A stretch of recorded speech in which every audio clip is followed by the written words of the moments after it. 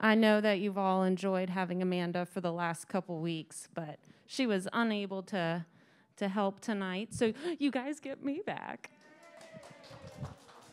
You're welcome.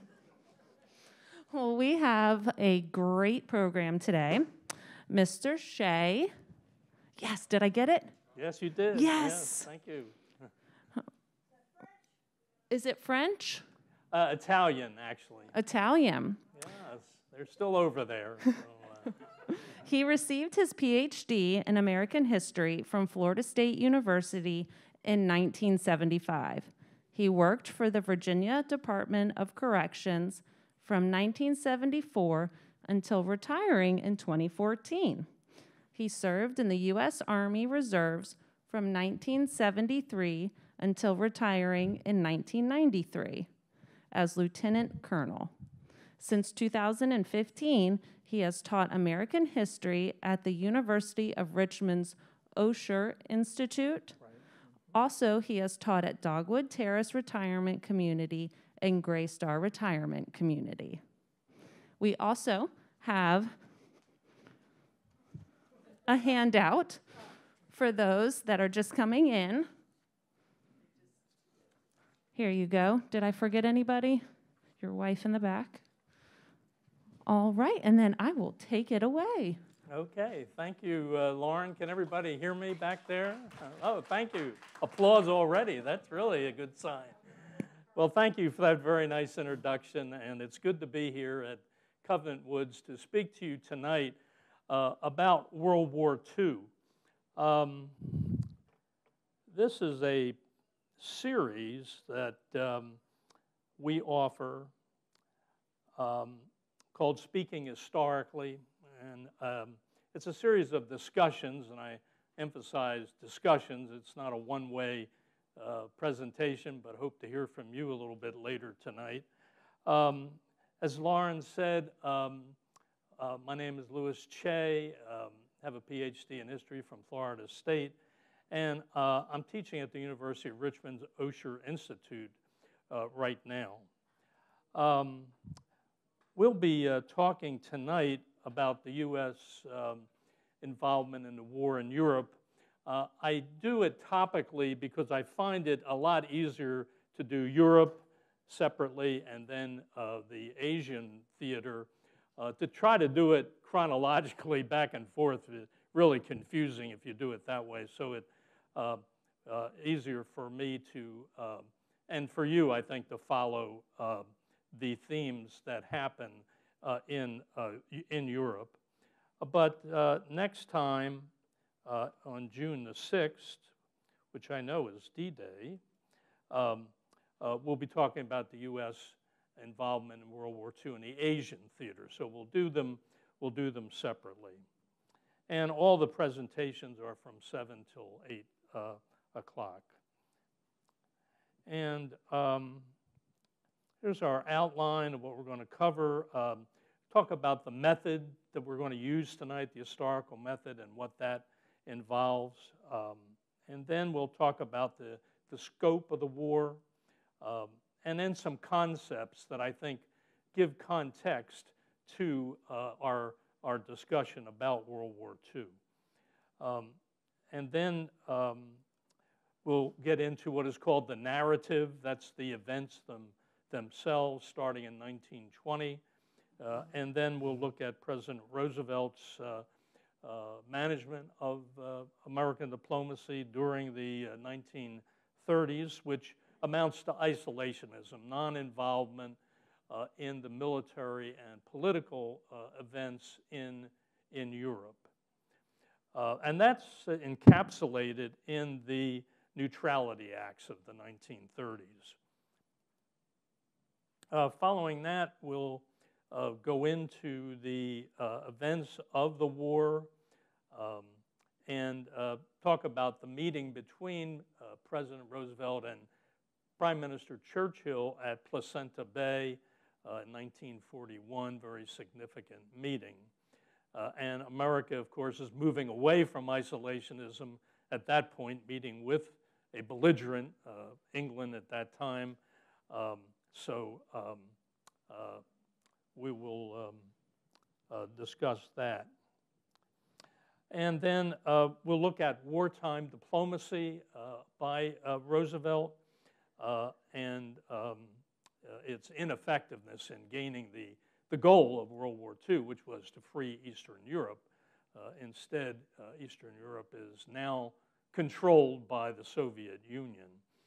Um, and then we'll come to some conclusions about, uh, uh, about World War II in Europe. And then following that, we'll, we'll talk about, uh, uh I have some discussion questions. Uh, if we don't have any uh, questions from, from, the, from the floor tonight, but we will give some time to, to hear from you. So that's our, that's our game plan. And so let me start um, with um,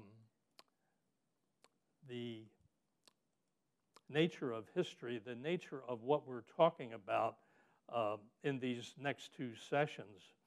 And um, history has to do with um, two things uh, the reconstruction of the past and the reinterpretation of the past. That's what history really involves. And we talk about reconstruction, we're talking about the events, what happened. And that's, we derive that from newspaper reports, memorandums, uh, uh, formal government documents, um, and um, uh, now uh, TV and now internet reports all give us the report of what, what is happening. But it's more than just a recapitulation, a chronology of what happened. Uh, we interpret what happens. We assess what it means. What does World War II amount to? And that is based on three things. Uh, your education, which is what we're doing tonight, uh, your life experiences. We, I was talking to one of the uh, members tonight about her experiences in, uh, in, uh, in Munich, Germany. And um, so that impacts how you look at things and also your vantage point on where you are uh, in, your, in your life. So those things all uh, impact on your evaluation of, of what is going on. Now, our purpose is here is to um, uh, develop generalizations um, and principles to help us solve political, economic, and diplomatic pro uh, problems. Uh, how can we get the peace? That's really the question. What is the best strategy to affect the peace? And that's what we're going to try to develop in these next uh, at least two sessions that we're, that we're going to have. And one historian um, sums it up this way. He says historical studies uh, significantly contribute to the development of gen general theories of human behavior useful to men trying to find solutions to the practical problems that confront them. So what we're going to try to do is develop some theories, some generalizations, some principles that will help us uh, bring peace. That is, uh, is the goal.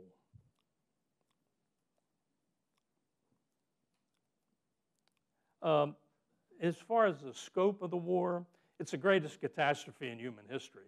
Uh, nothing compares to World War II. Um, the, it, involved all the major powers. It engulfed uh, uh, 30 countries, 100 million people, 60 million killed. More people are killed in World War II than all the wars put together up until that time. Uh, so that shows you just how uh, destructive this, uh, this event turned out to be. And yet, um, we have had no world wars in the last 75 years. And that is just an incredible record uh, when you factor in the question of nuclear weapons. Uh, but uh, the, the reason that we have not had a world war uh, is because of nuclear weapons. That's the independent variable. That's the difference between what happened in the, in the Peloponnesian War between Sparta and Athens in 455 BC and, and today. Uh, everything is basically the same except that one factor, nuclear weapons, and that is what has kept the peace.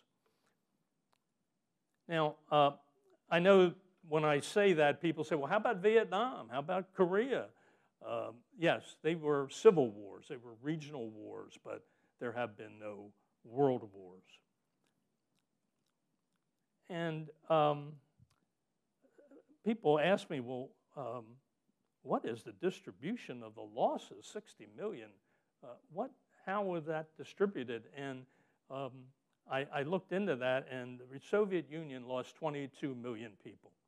I am not sympathetic. So the Soviet Union caused this war. They made a deal with Hitler in 1939 that allowed them to take half of Poland, and that is what precipitated this great conflict. So um, when uh, Hitler double crossed them, they had to fight back and take all their land back, and uh, that is why they uh, experienced such tremendous losses. Uh, China uh, lost 20 million. We'll talk about that next time on June the 6th. Uh, China is involved in two wars. China is involved in a war with Japan and also a war with each other between the communists and the nationalists. And, and that really uh, degrades the effectiveness of them, and that's why they, they lost so many, so many people.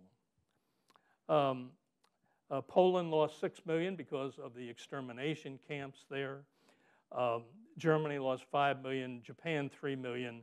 Uh, the rest of Europe, this would be uh, Belgium, Holland, Denmark, Norway, uh, 2 million. And Yugoslavia lost 1 million as a result of, again, of a civil war between the communists and, and the fascists in uh, Yugoslavia.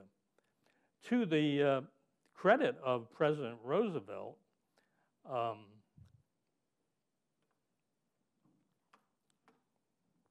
the United States uh, only lost uh, 400,000. And that's a tribute to Franklin Roosevelt's leadership and his um, reliance on technology that rather than frontal assault that uh, was used uh, uh, going back to the Napoleonic Wars and which the Russians uh, did. The United States re uh, relied on technology, uh, air power to prevent great losses.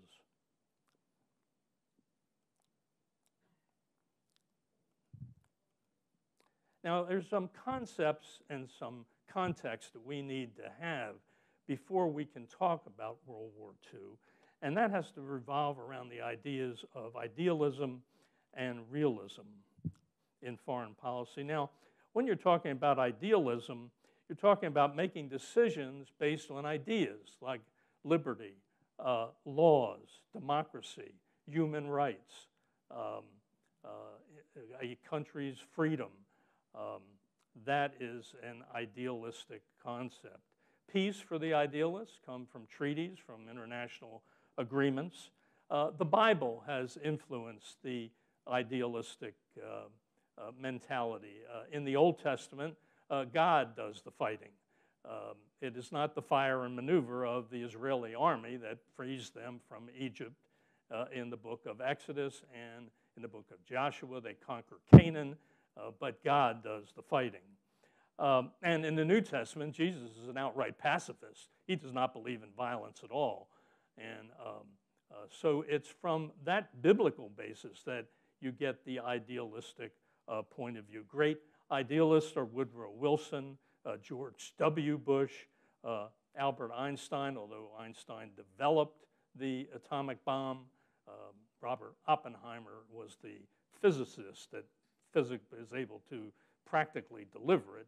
Um, but Einstein became a very uh, pacifist person as a result of, of the development of the atomic weapons. Uh, Oppenheimer lost his mind over it uh, and thought that he had done the worst thing ever. Uh, and um, um, uh, I only wish that he had lived a little longer. He died in the mid 1960s. Uh, and I think if he had lived a little longer, he would have known that what he did was develop one of the greatest peacekeeping uh, instruments ever. And Franklin Roosevelt, we'll see, is an idealist. Now, the other school of thought is realism. Uh, and realism says you make decisions based on two things power and geography. Uh, for the realists, they look at the question of supply and logistics, how important they are. Um, for the realists, the balance of power um, uh, peace comes from a balance of power, uh, a balance of fear, a balance of terror. And uh, the great realists are Hans Morgenthau, writing after World War II uh, in a book called Politics Among Nations, and um, uh, another book by uh, George F. Kennan, the man I consider the greatest thinker of the 20th century, um, in a book called The Realities of American Foreign Policy, uh, written in 1954. Herman Kahn, another realist, uh, Henry Kissinger, and all the U.S. presidents during the Cold War will be, uh, will be realists, and that's why we were able to win the Cold War uh, without even firing a shot, at least not directly at the other side. Um, there are also some other concepts we need to keep in mind, and that is the, uh, the working of the international state system. And um, uh, the, the relationship between states today is based on fear and self interest. We're seeing that in the Ukraine war, aren't we? That uh, uh, it's the fear of uh, Ukraine being taken over by Russia, Russia's fear of, the, of a uh, hostile alliance right on its border, and so that is what motivates nations and sets the relationship between states. Each state acts as its own sovereign. Uh, they decide what is best for them and what is correct to do. Um, and that the reason for that is that there is no international court. I know there is a world court, but no one pays attention to it because there is no international police force that can implement the rulings of the uh, of a world court. So uh, it is for those factors that you have basically anarchy uh, in the international state system.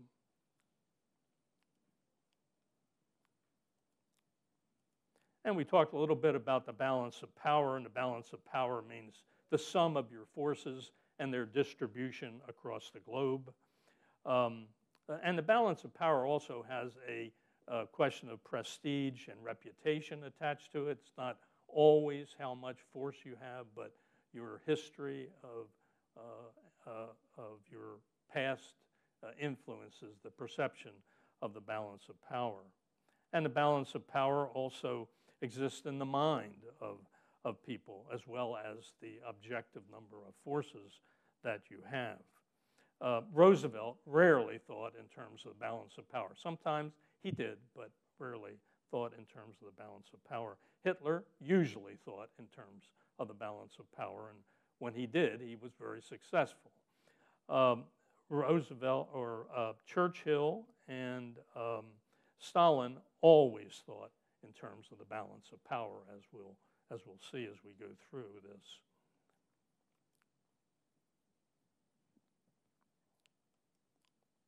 Now, turning to the, um, the narrative, the events of leading up to World War II, it starts in the 1920s.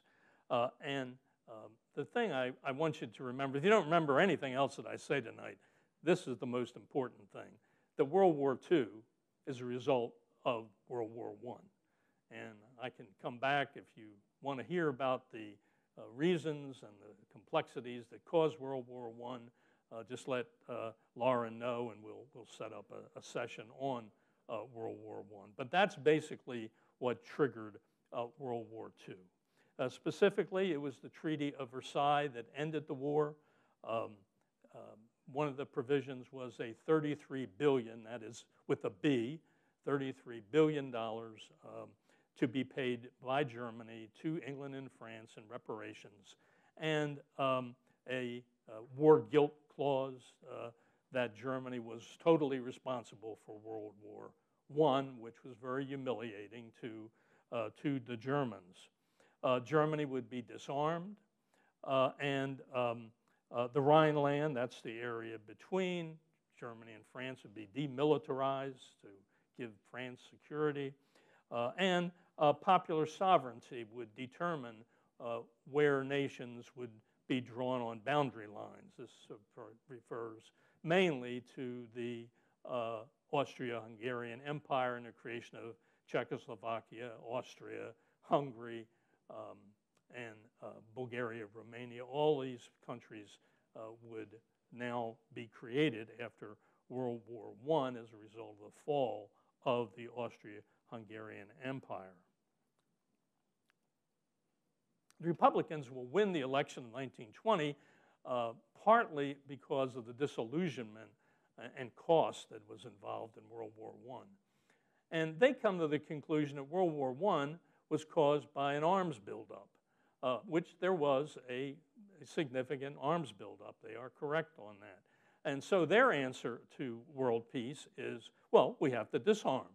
Uh, so they arranged for this Washington Naval Conference, Washington Disarmament Conference, 1921, and um, the net result is all the nations agree to disarm, even Germany and Japan. Uh, for the United States, we bring the Army down from 5 million in World War I to 150,000. And the Navy, instead of building 30 ships, which she needs, builds, uh, builds nine ships and not enough aircraft carriers. Uh, as World War II uh, starts in the Pacific, uh, Japan will have 10 aircraft carriers. We will have three. So you can see the, the uh, balance of forces here uh, are really tipped quite a bit to um, uh, Germany and Japan, as we'll see in a minute. Um, and this fits the Republican mindset. The Republicans do not believe in high taxes and making um, uh, individuals uh, pay a lot of taxes. And we all know that military expenditures are, are very expensive and the Republicans did not want to do that. So this fit their mindset very well. And then in 1925, we have the Kellogg-Briand Pact. Um, Aristide Briand and Frank Kellogg, the Secretary of State, um, uh, says, uh, and again, Germany and uh, all the nations will sign this, uh, this document and says that war will no longer be an instrument of foreign policy. Uh, but there's no enforcement provision, and they make one exception self defense. Well, every country is going to name self defense as their reason for going to war, aren't they? In, the, in 1846, when the United States invaded Mexico, uh, it was for self defense. We were attacked by Mexican army, killed some of our soldiers in a disputed area in Texas, and um, um, we claim self-defense. And of course, um, Russia today is claiming self-defense because uh, a hostile, um, a hostile uh, alliance is on its border. And uh, Ukraine, self-defense, they're being attacked. So uh, this document really shows the ridiculousness of the thinking that was going on at this time when you combine it with disarmament. Um, so the net result is you have isolationism, political and military isolationism, but not economic isolationism. The United States is trading enormously. We're becoming the most powerful economic country in the world at this point, and we are loaning the money to Germany so that they can pay England and France, and England and France in turn are buying products from the United States with that money. What you're getting then is the tremendous prosperity of the 1920s. Um, and so that's what does it. That's how that, uh, that happened.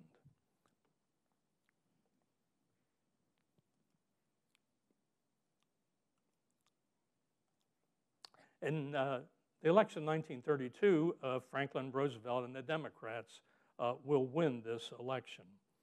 And um, Roosevelt uh, will combine the, the worst of idealism with the worst of legalism.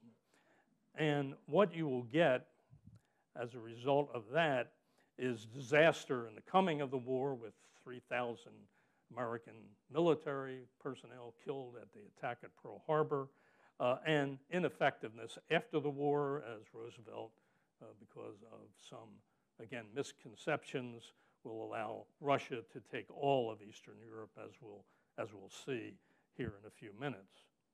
Um, Roosevelt lacks a concept of what he wants to do. Um, he, he, lacks firmness in what he wants. He's constantly saying one thing, doing another. Um, and instead of leading the people, uh, he deceives them.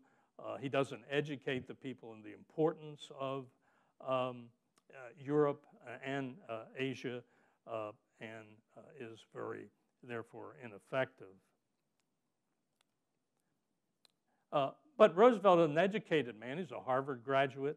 Um, he was Assistant Secretary of the Navy uh, during Wilson's administration in World War I. Um, and uh, he was nominated as vice president in 1920, uh, as his cousin Theodore also was Assistant Secretary of the Navy and uh, uh, a, a, vice president of the United States. Excuse me one second while I have a short beer here.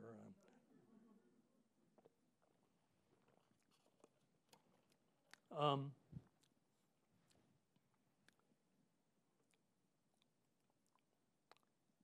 Roosevelt initially supported the idea of collective security in the League of Nations. Uh, and, um, but uh, he repudiated it and said he was not in favor of the League of Nations in order to get the Democratic nomination in 1932. So again, he changed, um, he changed his point of view uh, to uh, gain that, uh, gain that office. But in fairness to Roosevelt, um, he was not really focused on foreign policy when, when he came into power. Uh, he was interested uh, in the economy. The farm, the factory, and finance were all in uh, decline, absolute disarray, and his mission was to uh, reform and reinvigorate uh, those, those dimensions of the American economy. And uh, also in 1934, uh, a commission was formed by the um, uh, Congress called the Nye Committee, uh, named after Gerald Nye, a North Dakota Republican. And they also studied the causes of World War I. But instead of looking at disarmament, their conclusion was it was economics that brought us into World War I. And um, uh, especially corporations, munition corporations who made a lot of money, which they did, uh, and uh, bankers who loaned money to England and France. And if Germany had won the war, all that money would have been lost. So there was a pressure to support England and France, uh, is what the Nye uh, Committee uh, concluded. And um, uh, the net result here, again, is isolationism. Avoid war at all costs. But uh, uh, isolationists were not the majority, uh, either in the Congress or in the press, as we'll, as we'll see as we go forward here. But the perception was that uh, they were very uh, outspoken, and they had one big advantage. They knew what they wanted. Roosevelt did not.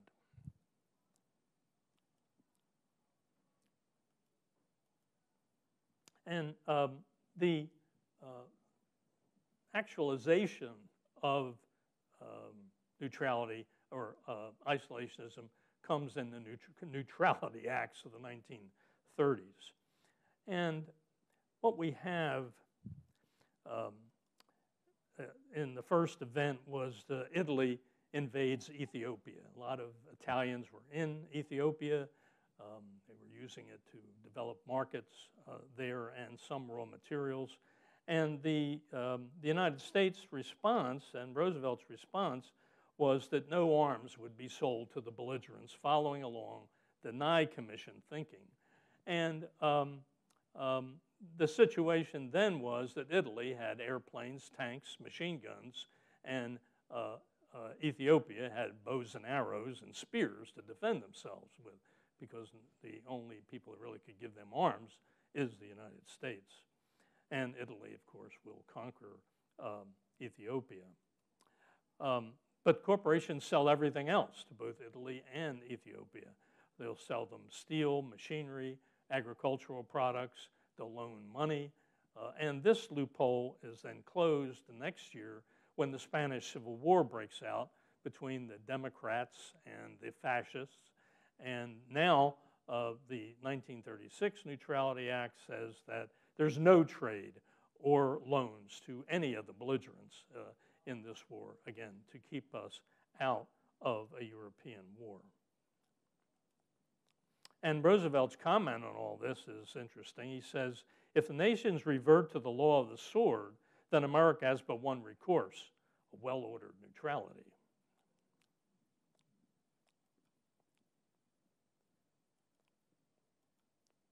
Well, I think everybody knows who he was.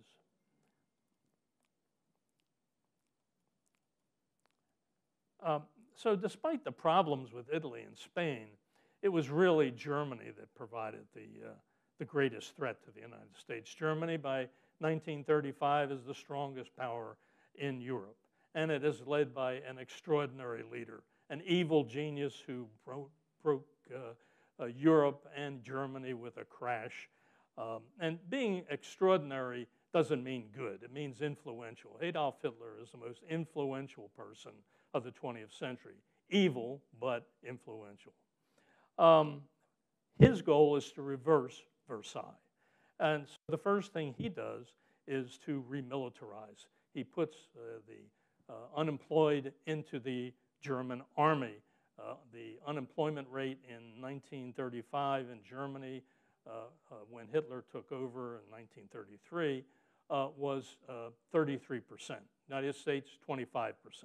So he had a major unemployment problem. His answer put people in the military. Um, and the next thing he did is he uh, used that military to take back the Rhineland. Uh, again, there was no way that uh, England or France could do anything because they were unarmed. So uh, he was able to get away with that. But it, it was 1938 that was really Hitler's year. Um, um, he, he used the Versailles Treaty of or Versailles Treaty pro, uh, provision of popular sovereignty um, to uh, claim Austria, and um, he said that uh, uh, the Austrian people were really Germans, which they had been part of Germany, is true, um, and uh, the uh, Prime Minister Kurt Schuschnigg said, "Well, let's have a plebiscite. Let's have a vote."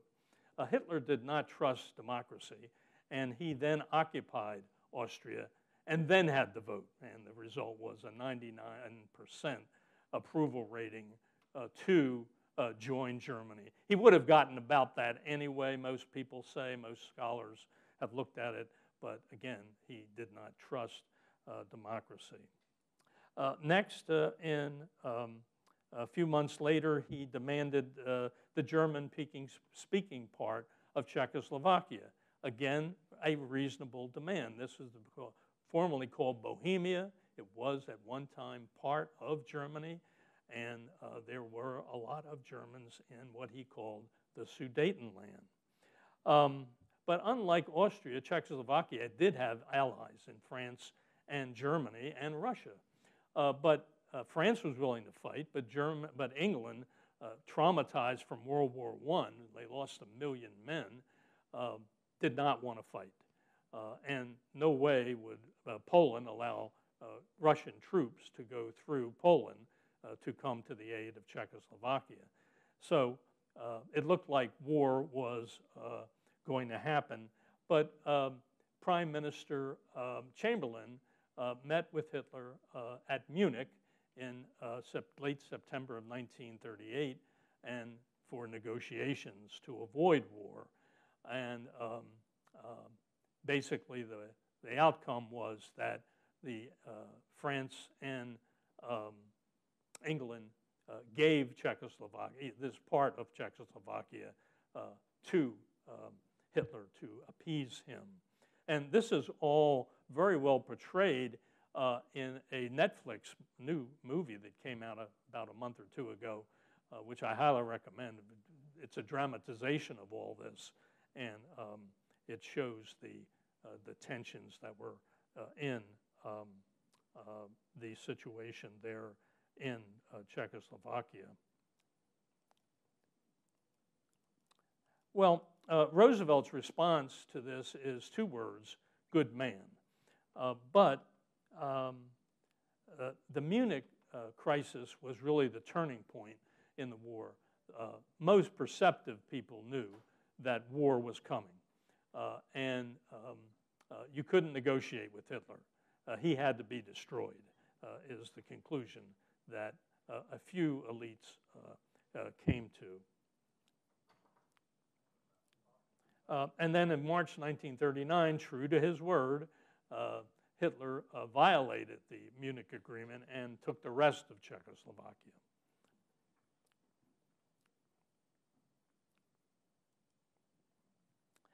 Uh, and um, in July of 1939, uh, Hitler next demanded um, what is called the uh, Dancing Danzig Corridor, a part of Poland, Again, this is reasonable on Hitler's part.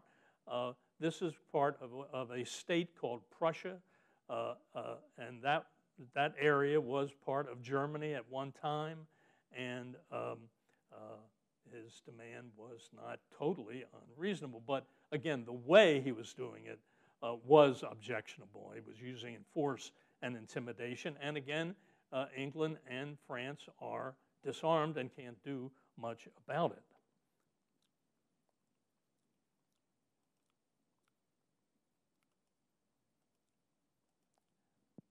But uh, England and France uh, foolishly decide to secure uh, Poland. Now, there's no way they can get to Poland, and even if they could get there, they couldn't resupply. But they made this, again, idealistic commitment uh, to defend Poland. Uh, Hitler responds by making an a agreement with communist um, uh, Russia, and there's a secret provision. It's a non-aggression pact, but there's a secret provision that allows that um, uh, uh, Soviet Union can have half of Poland, and they do take it, and um, uh, Germany will take the western part of Poland. And that brings on uh, World War II starting September uh, 1st, 1939. Um, the United States uh, seems to wake up a little bit and uh, changes the Neutrality Act called something called cash and carry. Here, um, uh, you are allowed to sell war materials to belligerents, but they have to pick them up on their own boats and um, uh, carry them back to their destination. Uh, of course, this favors England and France that has a bigger navy than, than the Germans do.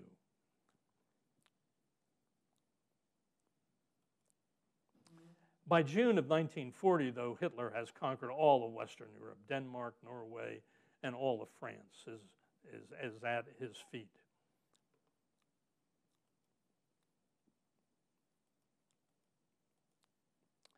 And in July of 1940, uh, two events happened. First, Wendell Willkie is nominated for the Republican nomination over Bob Taft. Uh, Taft, an isolationist, does not want to get involved in any way uh, in the war. Willkie uh, wants to have some vague uh, involvement in um, international uh, action to prevent um, the expansion of, of Germany and, and Japan. Uh, of course, Roosevelt will be nominated for the Democrats in 1940. Also, um, in that same month, the United States will uh, give uh, 50 uh, old World War I destroyers uh, to England. It wouldn't, really wouldn't make a whole lot of uh, difference. But again, talk about perception. Here, the perception was that we were getting a little more involved in the war, symbolic support uh, for England. Uh, Hitler reacts to that in September uh, with the Tripartite Pact. And what that says is that uh, Germany, Italy, and Japan will come to each other's aid if they are attacked by a third country. Well, the only country that's not at war is the United States. So this is directed at the United States. And of course, later, um, uh, Hitler will invade uh, the Soviet Union. He orders an air war over Britain. Uh, and in September of 1940, Roosevelt uh, signs the order for a draft, wins by one vote in the Congress, Uh, and prior to that, unemployment was at 17%. All the things that Roosevelt did uh, did not really impact on unemployment, but the draft did. And in fact, we had to bring women into the workforce at that point uh, because now we needed uh, uh, people. And also in March of 1941, um, the Lend Lease law was passed, another Neutrality Act, and this allowed for all orders uh, for all products on U.S. ships uh, to be uh, sold uh, to uh, anyone that wants it. And of course, that ended the Depression. Uh, it is the war that ends the Depression, not anything that Roosevelt did. Um, and that really wasn't revealed or understood clearly until the early 1960s when economists started looking into that uh, dynamic. But that is what brings the end of the Depression was the tremendous amount of war orders that were coming in to our economy.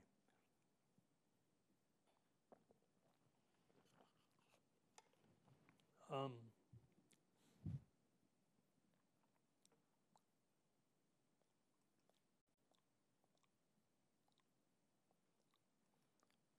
now we're moving away from isolationism, as you can see, step by step.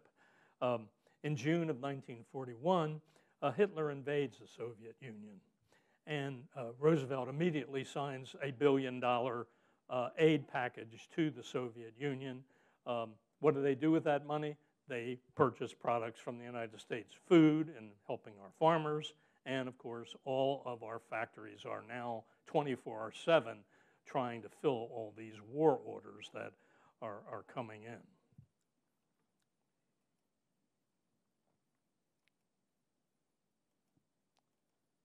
During the 1940 campaign, Roosevelt said this No secret treaty, no secret obligation, no secret commitment, no secret understanding in any shape or form with any other government to involve this nation in any war or for any other purpose.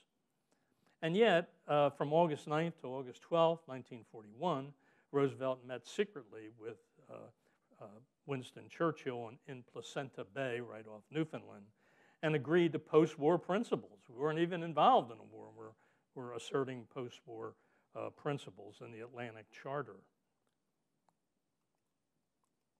And the Atlantic Charter, a very idealistic document, says there'll be no territorial gains as a result of the war, uh, no change in government without the consent of the people, um, uh, reduction of tariffs, uh, free trade would be implemented, uh, the right of all people to self determination, uh, a world free of want and fear, again, a tremendously idealistic concept, and um, and the disarmament of aggressor nations and a comprehensive disarmament of all. Roosevelt did not learn one thing from what was happening in front of him to, to agree to that concept.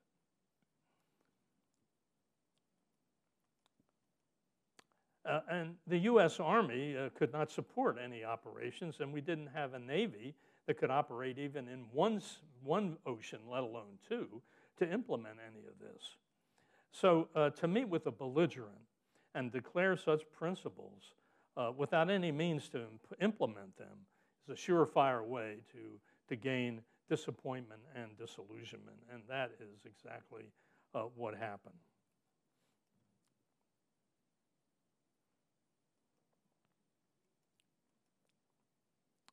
And according to Roosevelt's uh, apologist and, and a very favorable three volumes that called uh, uh, FDR, uh, Nigel Hamilton, says that Roosevelt said, if we were going to go to war, it would be for a noble cause.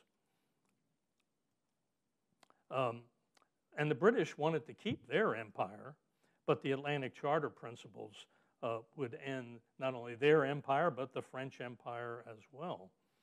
Um, a post war peace aim that guaranteed the eventual end to the British Empire, especially in India. And Churchill said this to his private secretary on sending the draft uh, of the Atlantic Charter to his cabinet Am I going to like it? Rather like a small boy about to take his medicine.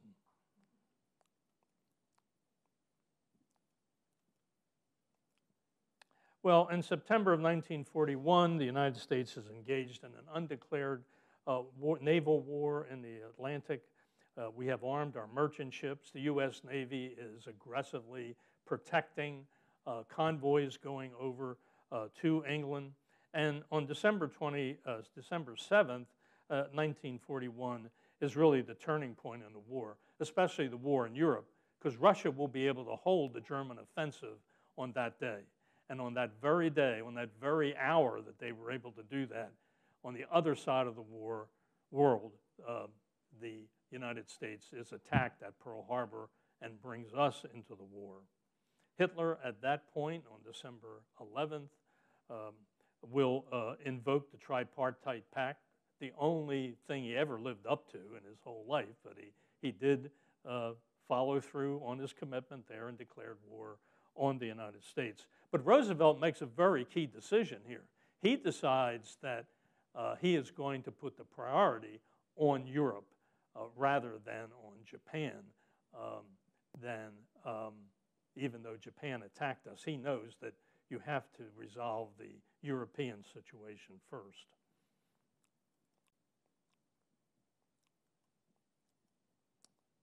And that brings us to the diplomacy during the war. Um, Roosevelt's goal now uh, is realistic. Um, he wants to keep this uh, unusual coalition of communists and capitalists together. Hitler wants to uh, divide it. He wants to try to split that to uh, win the war for, for Germany. So at the Casablanca Conference, 1942, uh, they, they, they decide for uh, un, unconditional surrender. Of course, the foolishness of that is that that really uh, galvanizes the Japanese as well as the uh, Germans to fight to the last man because there's not going to be any conditions uh, to their surrender. And at Tehran, uh, Roosevelt gives a number of real estate to the Soviet Union because we were not able to effect a um, a second front. So Russia will get uh, Port Arthur uh, uh in China, uh, half of Sakhalin Island in, uh, in the um, um, Chinese area, and they would get a protectorate over Mongolia. All of this without consulting with China. Um, but that was the arrangement that uh, Roosevelt felt he had to make because the, because the Russians were fighting the very best uh, troops uh, that the uh, Germans had. And then, of course, at Yalta, a complete catastrophe here.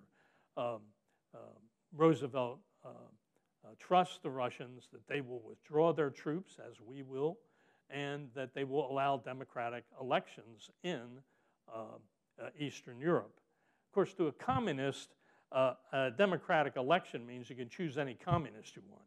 It does not involve real comp competition. And that's how uh, Stalin interprets that, and that's why uh, he will um, uh, uh, agree to it because his understanding of democratic elections is what I have just uh, outlined. So here is the net result of of World War II. Uh, Russia has conquered all of Eastern Europe, uh, bigger now than Peter the Great, Catherine the Great. Um, they are a, a massive force. So, um, what conclusions can we come to about all of this? Um, first, Roosevelt's idealism distorted his view of the German threat. Uh, he did not react quickly enough uh, to the expansion of Germany. And he lacked coherence, consistency, and a concept of what he wanted to do. So different from the Cold War, uh, the war between the United States and the Soviet Union, when we did have a concept which was containment. We tried to contain the Soviet Union. Um, Roosevelt himself, I think, was truly an isolationist. Um, when he did realize the options, he didn't educate the people, he deceived them. And at Yalta, trusted the Soviet Union to live up to its agreements rather than to seek a balance of power, which would have been uh, better uh, through going through uh, the Dardanelles and up through some of Eastern Europe to cut off some of the expansion that the uh, Soviet Union uh, had uh, achieved um, as a result of the war.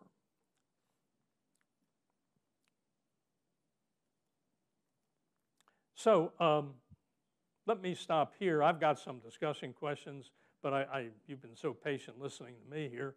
Um, I just wanted to ask you what uh, comments or questions do you have at this point? If you just raise your hand, Lauren's got the mic, so I'll come if you to have you. any, we'll. Uh, yes, sir.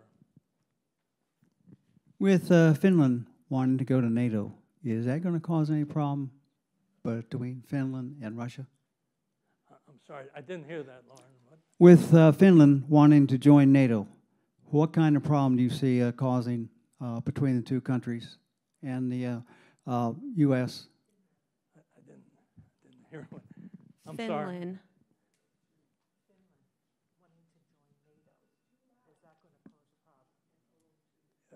What, causing NATO?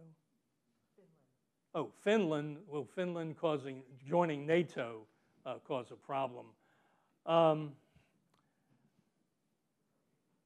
From a, a realistic point of view, and I, I'm in the realistic school of foreign policy, um, to extend NATO all the way to a hostile border, well, what, hap- what would happen if Russia decided to uh, have an alliance with Mexico, Venezuela, and Nicaragua in our hemisphere? How would we feel about that? Uh, so I, I think it's a very dangerous and risky course. Uh, I think the whole involvement of uh, NATO uh, in this war is extremely risky. Um, uh, we're risking a nuclear war uh, at this point, so I think it's ill advised, let me put it that way. If you don't mind Well- taking your mask off, I might be able Oh, to hear you a oh. little bit better there. Okay. Um, My comment on that is, okay, my comment on that is, is that when Russia invaded Ukraine and, and kind of wanted to take over the whole country, they were going to be butting up to Poland, which is already in NATO. So the fact that if they wanted to take Ukraine over and they were fine with that, having Poland, who's NATO on their border, what's the difference with Finland being in NATO? It's the same thing. All, they just wanted a reason to invade Ukraine, period. I don't think it makes a difference to them. They just needed a reason to substantiate it to their public so that they could go in, take over Ukraine, meet whatever wish list of Putin. Because in, in fact, he's going to have NATO on the border if he takes over Ukraine. Uh, The, the, the point she makes is that um, Russia is going to have NATO on its borders even if it conquers Ukraine. And uh, your, yeah, your point's well taken. Uh, that certainly uh, um, uh, can happen. And I think the reason that Russia has gone into Ukraine is because they're not part of NATO and they can get away with it. At least they thought they could. But the, um, the technology of the um, NATO forces have, have kind of had a balance of power there. Yes, sir. Mhm. The information that I have is that, or that I have been reading, is that Finland has the best military pre- preparedness of any nation in that part of the world, and that's much more of a threat to Russia. You know, in, uh, in 1940, um, the Soviet Union invaded Finland. And Finland, little Finland, was able to defeat the Soviet Union, lock, stock, and barrel. And this event impacted Hitler. Hitler thought, well, gee, if little Finland can defeat the Russians, well, be able to wipe them out very quickly. Uh, and of course, that uh, is a fatal, uh, a fatal decision because uh, Russia is so big and um, the weather uh, is just so negative. Um, uh, it just really cannot, it cannot be defeated easily. Uh, and Napoleon found that out too, didn't he? He invaded the Soviet Union with 600,000 troops. and was, um, was defeated not by the Soviet army, but by the weather and the burning of Moscow, which took all their food and, and supplies away. And so, um, uh, uh, but uh, yes, Finland is formidable, I would say, yes.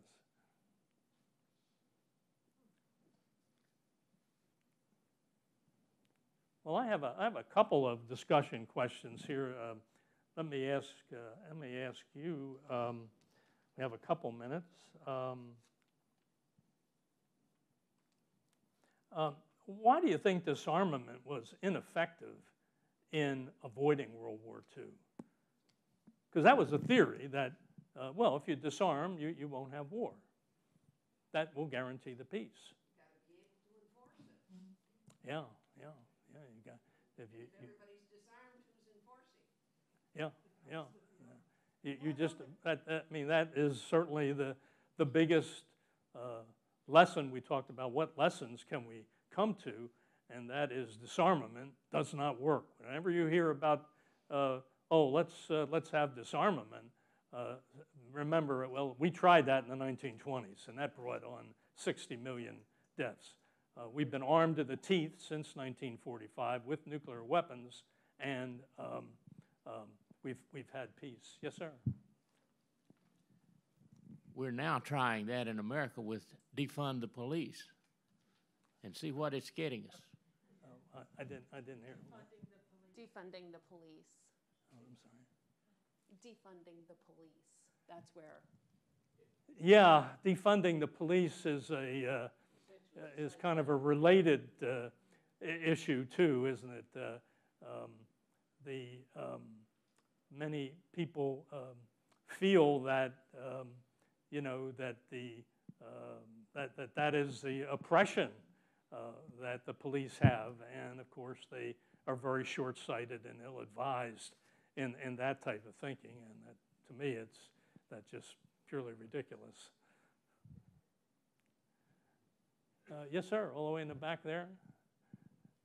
I'm coming, Mr. Connor. Lauren has to double time to, to get there, and In my opinion, Finland joining NATO could very i- mean the ending of any country taking over another country. It may be the beginning of a unified world.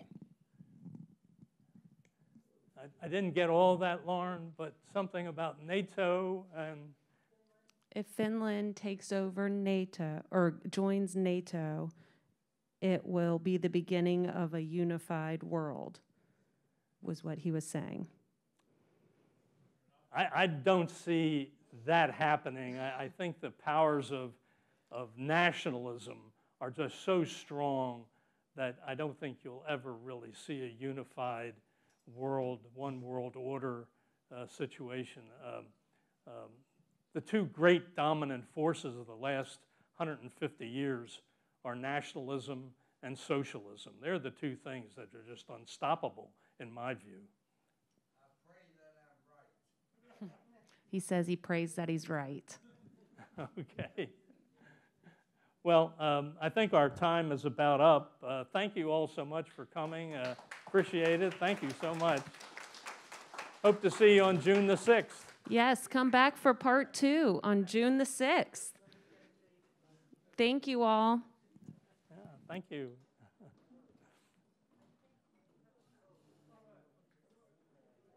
Well, I arrived a little late, and I see you are a Florida State grad, I am?